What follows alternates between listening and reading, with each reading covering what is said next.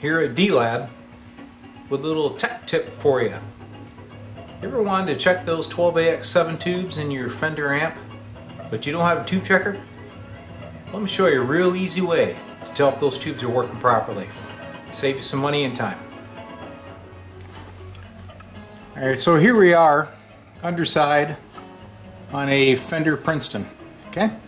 This is your 12AX7 tube right here.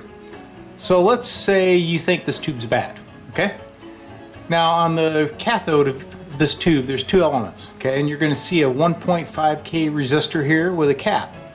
And hidden over here is the other one. Okay? Now if you were to measure the voltage, of course with the amp on, you're going to see, in this case, about 1.41 volts there. And look at the other cathode. If I can get my meter to cooperate. 1.43 volts.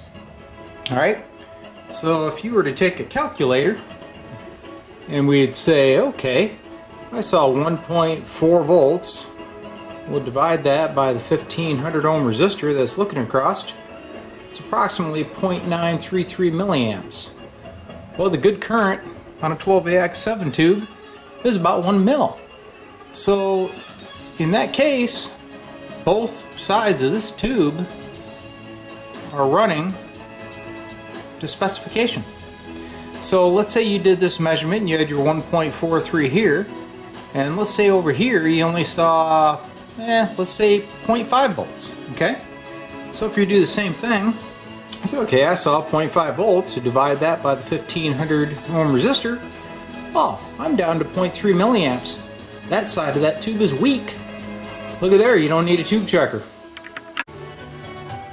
Okay, so mission accomplished. Now you have a way to tell if your 12AX7 tubes are working properly, okay? I just saved you the cost of a tube checker. I'd say you owe D-Lab a beer. Anyway, I'll be posting more of these tech tips. I hope you found this information valuable. Thanks for watching.